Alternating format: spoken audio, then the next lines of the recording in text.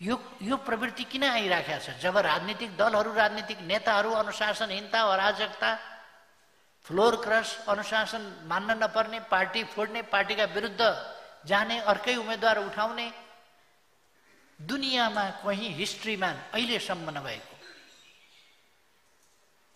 आफ्नो सरकार विरुद्ध कहिले सरकार ढाल्नका लागि निसन्तान सम्बन्धी विभिन्न समस्याको सफल उपचार अब नेपालमै सम्भव छ।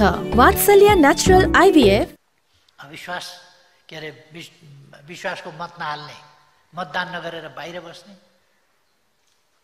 कहिले अर्को सरकार बनाउनका लागि त्यहाँ पुग्ने समर्थन गर्न पुग्ने।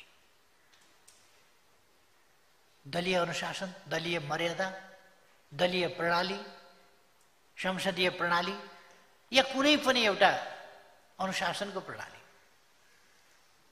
तिनले खाएको शपथ झुटो हो। तिनका शपथ बेइमानी हो तिनका शपथभित्र स्वार्थ साध गर्ने स्वार्थ पुरा गर्ने कपट लुकेको हुन्छ। अहिले तिनले खाएका शपथ सम्झिनुहोस् त। तिनले कहाँ कहाँ शपथ खायो होला? तर देशको विरुद्ध बहुतै ठुलो अनिष्टको काम गरिरहेका छन्। जब नेतृत्व तहबाट त्यस प्रकारका कामहरू हुन्छन् नेतृत्व तह यस्ता अनुशासनहीन अराजकतामा उत्रिन्छ र त्यसलाई गर्वसाथ सामान्य राष्ट्रपतिज्यू कहाँ गएर एकजना नेताले म यहाँ छु म म म विरोधमा आएको छु भनेर गर्वसाथ शरम छैन। जब नेतृत्व तह यस्तो हुन्छ तब माथिबाटै धमिलो पानी बगेपछि तल सङ्लो कहाँबाट आउँछ माथिबाटै धमिलो पानी बग्ने बगाउने काम भइरहेछ। खोज हर्बल क्यान्डी आयो इमली हल्दी। हल्दी हनी तुलसी र इमलीको प्राकृतिक गुणहरूले भरिएको hundred percent natural immunity boosting herbal candy. Good लाइफको इमली हल्दी। यो चिन्ताको विषय छ।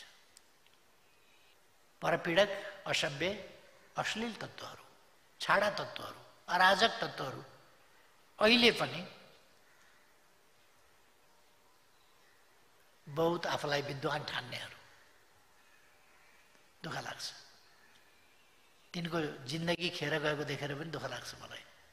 एउटा मानवीय सभ्यताको तहमा पनि उठ्न नसकेका त्यस्ता तत्त्वहरू।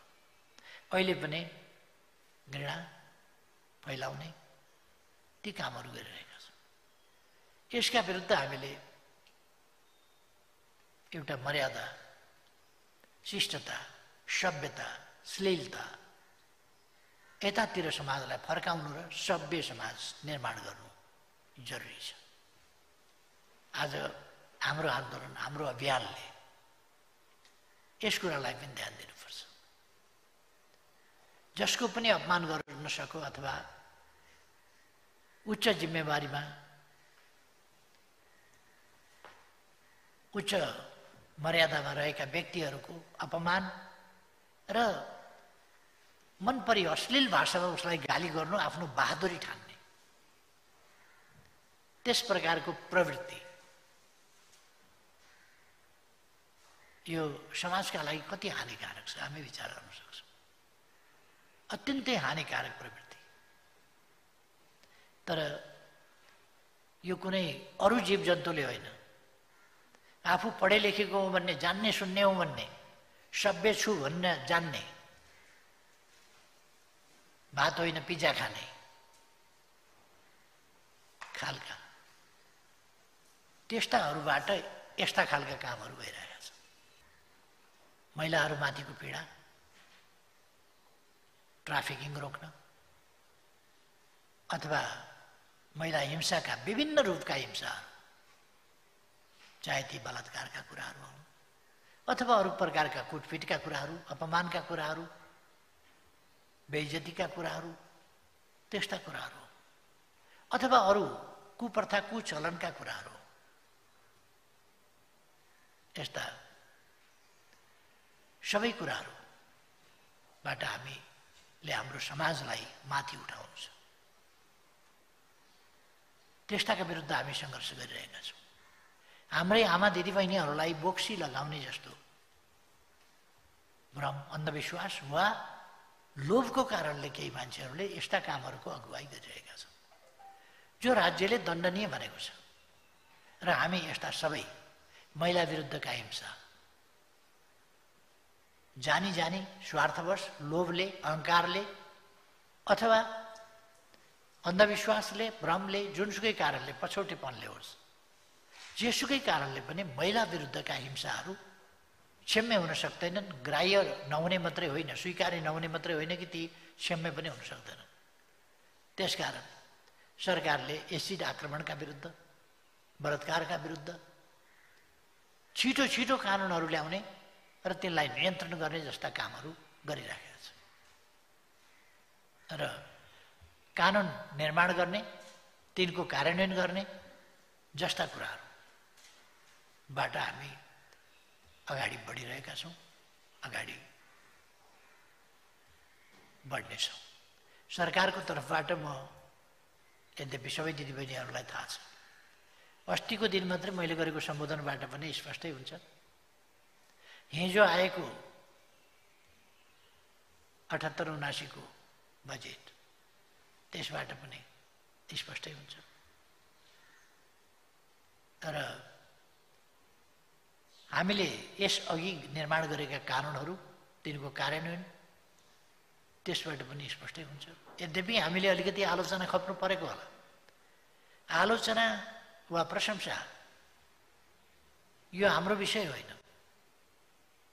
हामीले समाजलाई अगाडि बढाउने समृद्ध बनाउने समानता सहितको समृद्धि हासिल गर्ने र समृद्ध नेपाल सुखी नेपाली बनाउने।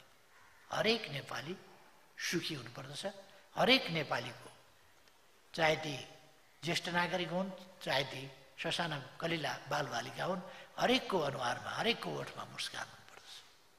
हाम्रो आकाङ्क्षा त्यो त्यसका निम्ति सामाजिक समानता अर्थात् महिला र पुरुषका बिचमा सामाजिक समानताको पहिलो शर्त हो महिला र पुरुषका बिचमा समान अधिकार समान अवसर। म दिदीबहिनीहरूलाई भन्न चाहन्छु यो वा त्यो प्रकारका कुनै पनि महिला हिंसा महिला हिंसा गर्ने कुरामा महिला पनि त्यति कम छैन। महिलाहरू पनि सजग हुनुपर्दछ यस्तो कुरामा। महिलामा महिला जन्ने स्नेहपूर्ण ममतापूर्ण ममतापूर्ण स्वभाव हुनुपर्दछ। त्यतापट्टि पनि हामीले ध्यान दिनुपर्छ। आफैले आफैलाई पहिले हामीले सच्याउनुपर्छ। ठिक ठाउँमा उभ्याउनुपर्छ। र ठिक विचार लिनुपर्छ। ठिक व्यवहार गर्नुपर्छ। ठिक आचरण गर्नुपर्छ। अनि मात्रै हामी समाजलाई ठिक विचार ठिक व्यवहार ठिक आचरणतिर डोर्याउन सक्छौँ। हामीले महिला दिदीबहिनीहरूलाई पनि पुरुष बहकाममा नपर्न आग्रह गर्नुपर्छ स्वार्थ बसीवत हुने होइन सत्यको पालनामा अडिग हुनुपर्छ.